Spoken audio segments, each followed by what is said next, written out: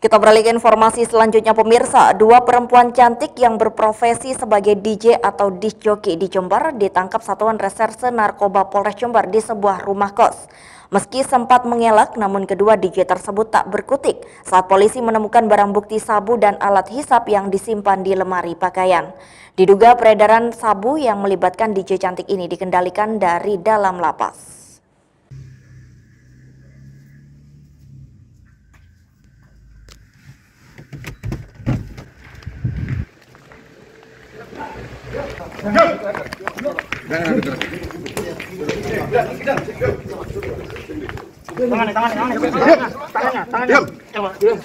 Berikut merupakan detik-detik saat anggota Satreskoba Polres Jember melakukan penangkapan dua tersangka pengedar sabu di sebuah parkiran hotel ternama di kota Jember. Dua tersangka yang menggunakan sepeda motor ini diduga akan melakukan transaksi narkoba dengan salah seorang pemesan. Benar saja saat digeledah, dua tersangka yakni Rizky Maulana dan Arif Rivaldi, keduanya warga Kecamatan Pakusari Jember, ditemukan dua poket sabu siap edar yang disimpan di dompetnya masing-masing. Dari penangkapan dua tersangka pengedar sabu ini, polisi kemudian melakukan pengembangan kepada pemesan sabu, yakni dua orang perempuan cantik yang berprofesi sebagai DJ atau disc jockey. Oh, ada sisa pakai ya? Iya, ada ya. Ini, ini, ini.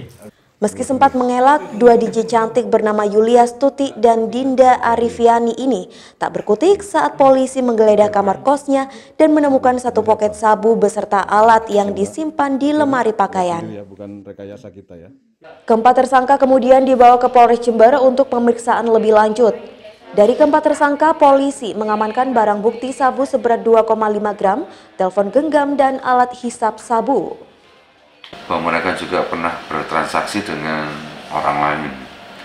Setelah dilakukan profiling, kemudian dilakukan uh, pengamatan dan penggambaran pada masing-masing pelaku yang diduga nantinya juga akan ditangkap tersebut, ternyata setelah dilakukan penangkapan, mereka berprofesi sebagai seorang DJ di sebuah tempat hiburan di kota Jember. Dari hasil pengembangan tersebut ditangkap dua orang perempuan dan masing-masing ditemukan barang bukti satu poket sabu. Polisi hingga kini masih melakukan pengembangan guna menangkap bandar sabu yang diduga dikendalikan dari dalam lapas ini. Sementara empat tersangka kini harus mendekam di ruang tahanan Polres Jember guna mempertanggungjawabkan perbuatannya. Dari Jember, Yudisadi Jember 1 TV melaporkan.